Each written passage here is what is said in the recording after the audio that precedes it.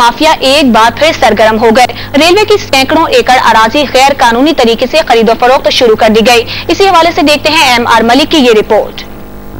नोकोट की land mafia एक बार फिर सरगर्म हो गए। नोकोट रेलवे की सैकड़ों एकड़ अराजी की गैर कानूनी तरीके से खरीदो फरोख्त शुरू कर दी गई है और मुताद अफराद ने लैंड माफिया से रेलवे अराजी पर प्लॉट खरीद कर नाजायज तामीराती काम का आगाज़ कर दिया है। पाकिस्तान रेलवे मौजूदा हुकूमत और आला हुकाम की नाअहली की वजह से बहरानों का शिकार है और रेलवे हुकाम ने जिला मीरपुर खास के मीटर गेज लाइन की ट्रेनों के रेलवे स्टेशन और लाखों एकड़ अराजी को नजरअंदाज किया हुआ है। इस जमन में नोकोट रेलवे स्टेशन और रेलवे अराजी को भी नजरअंदाज किया हुआ है। और नोकोट रेलवे की फोर्ट गोदाम, मालही मोहल्ला बलोच मोहल्ला और रेलवे क्वार्टर के आसपास जमीनों पर बड़े पैमाने पर लैंड माफिया काबिज हो चुके हैं। जबकि नोकोट की बासर कब्जा माफिया ने सैकड़ों एकड़ अराजी पर नाजायज प्लॉटिंग करके मकामी अफराद को कीमती ज़मीन बीस ऐसी तीस हज़ार रूपए में फरोख्त करनी शुरू कर दी है और मकामी अफराद ने इस ज़मीन आरोप पुख्ता तामीर शुरू कर दी है। ये भी मालूम हुआ है की रेलवे की कीमती अराजी की गैर कानूनी खरीदो फरोख्त में रेलवे के मकामी मुलाजिम बराह रास्त मुलविस है। जबकि नोकोट के वेयर हाउस की एक हज़ार फीट आराजी पर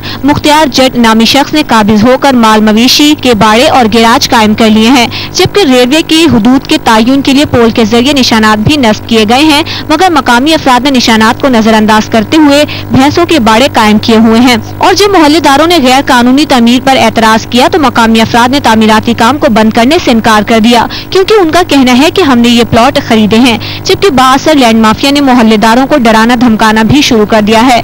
नोकोट के सियासी और समाजी रहनुमाओं ने चीफ जस्टिस और पाकिस्तान से मुतालबा किया है कि नोकोट रेलवे अराजी पर लैंड माफिया और मकामी अफराद की बंदर बाँध का नोटिस लेकर मुल्की अमलाक और कीमती अराजी को बचाया जाए।